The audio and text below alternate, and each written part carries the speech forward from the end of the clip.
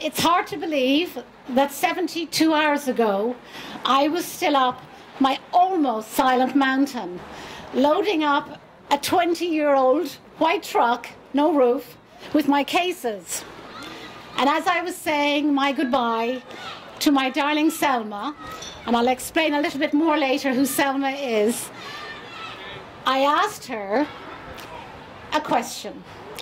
I said, in another 72 hours, I'm going to be standing on a bandstand talking to a group of people. So please give me your advice because I'm going to be talking about my love and passion for Turkey and a little bit about my book, Tales from Turkey. And her wise words were Miriam, every single day we all get up and we do what we have to do and we do our best.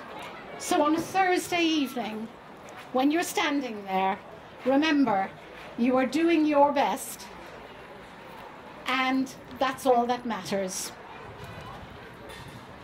And of course, it's always an emotional um, time when we have to say goodbye and I come back to the UK. And I have to say, when she said that to me, there was a lump in my, in my throat. Back to Selma. Selma is my helping hand, and it's the very first story in, in the book. And I've now known Selma 10 years, and she's been a huge influence in many of the other stories and tales from Turkey.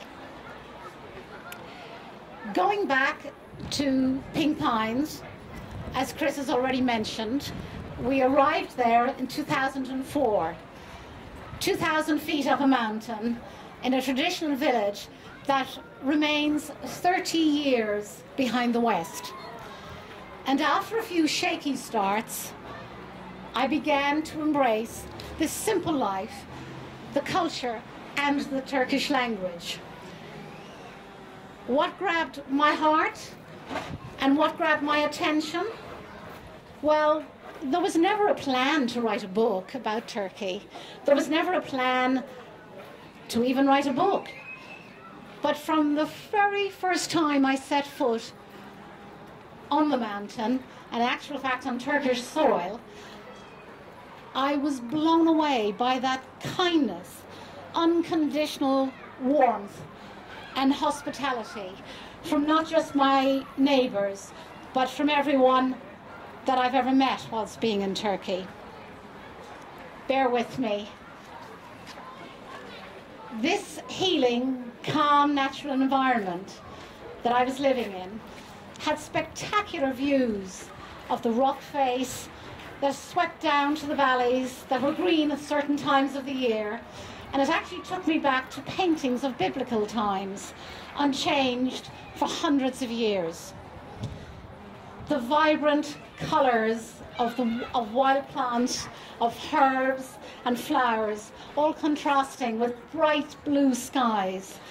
And I was surrounded by colourful crops of vegetables grown by the villagers that basically are in the ground in the morning, and by lunchtime, I'm eating them. At 7 a.m. most mornings, I walk in silence, either down the valley or back up the mountain, and occasionally there's just one bird singing. And as the morning progresses, all I hear are the sounds of farm animals as they get on with what they have to for that day. And then there are the funny, comedic adventures and experiences that I've been privy to. And you really couldn't make it up. For example, carpet cleaning in the mountains is one of my stories in the book. Um, here in the West, we would ring up a carpet company when we wanted our carpets or rugs cleaned. Not in Turkey and not where I live. My lovely Selma grabs every single floor covering in the house. We're having breakfast and they come flying over the terrace, thrown onto the ground, as she grabs a hose and starts stomping all over it as if she's jogging or crushing grapes. Um, and that's just one of the stories and one of the the the the, the, the, the, the you just couldn't make it up. Um, all of these things have drawn me to Turkey and have given me this passion and, and love for this country. And then the inspiration to write came Tales from Turkey. After the first three years of living up the mountain, I was certainly managing my health better. I was stronger, I was more focused, and I was more relaxed than I had been in many, many years. And by 2009, I'd actually completed my first book of short stories, but I did not believe that I could actually publish a book. A wise lady that I had met some years before, who was tuned in to me, one day she appeared at the house and said, Miriam, why are your, is your work gathering dust in boxes and sitting on a hard drive? What are you afraid of? Well, in truth, I was lacking confidence. And I didn't know that I could handle my words going out into the public domain. They were my babies for a few years, and I had nurtured them. But in early 2012, I decided to start writing a blog. And the feedback was so positive, that gave me the impetus to say to Chris, by hook or by crook.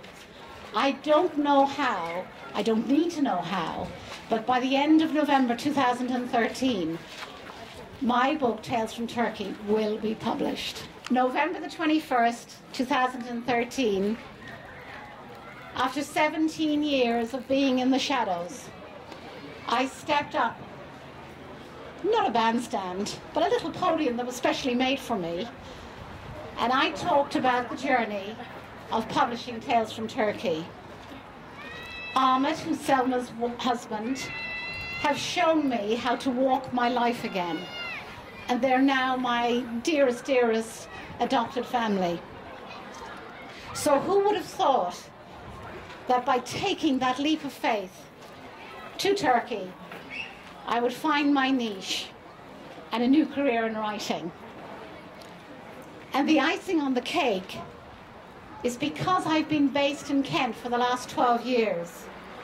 In August 2013, I've started to make core bonds in the world of Kent business again. And my world is opening up again. And it's very, very exciting. I'm also truly grateful for the help, the support, and the advice I've received for the last months. And I see that many of you are in the audience tonight, so thank you.